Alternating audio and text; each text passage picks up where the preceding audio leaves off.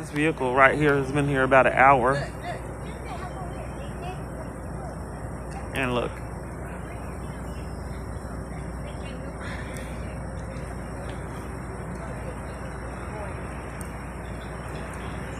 Sprinklers.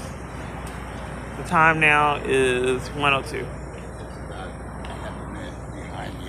The sprinklers changed their mind. You see it's wet right here?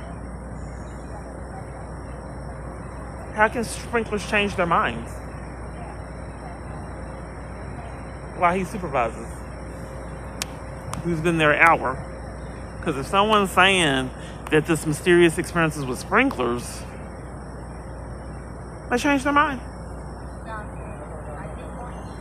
Now that I'm recording, but clearly it's wet over here.